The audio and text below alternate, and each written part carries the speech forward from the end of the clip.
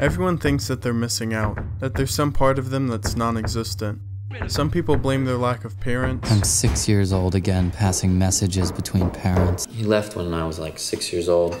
Our fathers were models for God. If our fathers bailed, what does that tell you about God? Some blame the time period they live in. We're the middle children of history, man. We have no Great War, no Great Depression.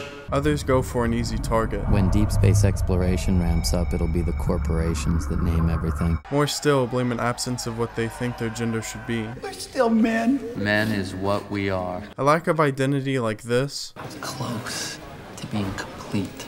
Shit, man, now it's all gone. What'd you feel about your life? I don't know. I wouldn't feel anything good about my life. Is that what you want to hear me say? Fine. mixed with apathy towards others, Strangers with this kind of honesty make me go a big rubbery one. and maybe a bit of insomnia Lose an hour, gain an hour. Could you wake up as a different person? It's a dangerous combination. Everything's a copy of a copy of a copy. The narrator, for all intents and purposes, is living as a husk of a man, one that doesn't even have a name. Who are you? Any of the stupid names you give each night? He leads a life where instead of creating his own emotional blueprint, the only way he can sleep is by leeching off of those around him. I became addicted, When he can no longer keep this up, and she ruined everything. all he can do is tap into his primitive side and lash out at a perceived omnipresent threat. I had become a slave to the IKEA nesting instinct. He can't even fully do this until he makes up a whole other persona, Tyler Durden. You were looking for a way to change your life. You could not do this on your own. At first, Tyler and by proxy the narrator become hateful. I am enlightened. And I used to be such a nice guy. They live to defy what others have said or built. Any historical figure. I'd fight Gandhi.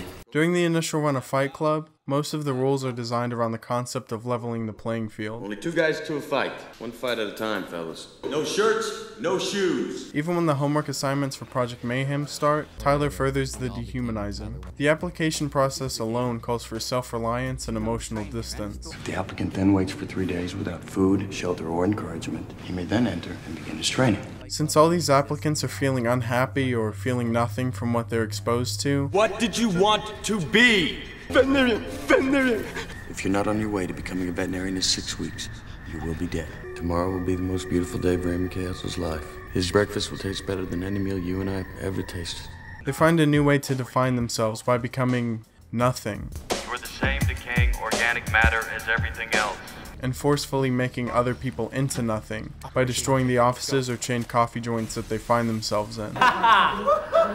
What the fuck did you guys do? Tyler stands for nothing at worst and angst at best. It looked like it was waiting to be torn down. He has simple aggression toward the opposite sex. Her lie reflected my lie.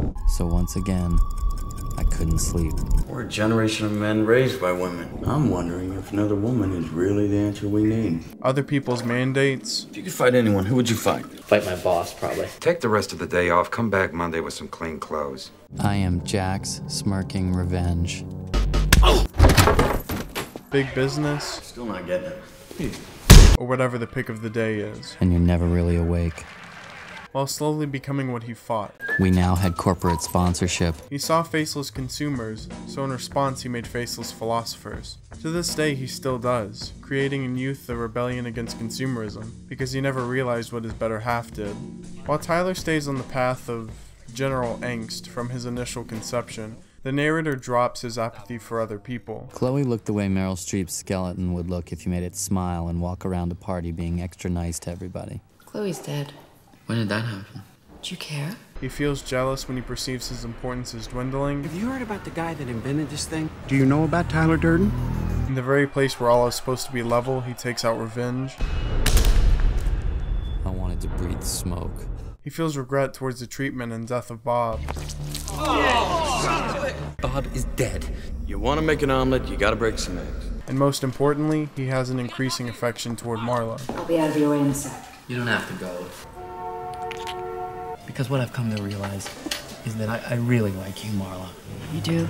I care about you, and I don't want anything bad to happen to you because of me. Understanding the narrator's sharp turn in ideology is what makes us realize that these men, indoctrinated through a true form of living, are not enlightened or above anyone else. His name is Robert Paulson. He isn't My headset information you want at this juncture. Be able. You're a moron. They are still drones, following whatever guidelines are set before them. They may not be buying into the corporation that is Pepsi, but they are in fact buying into the next ideology that blatantly states what it wants from you. We are not our jobs. We are not how much money we have in the bank. We are not our khakis. But we are not the all singing, all dancing crap of the world either. We are individuals.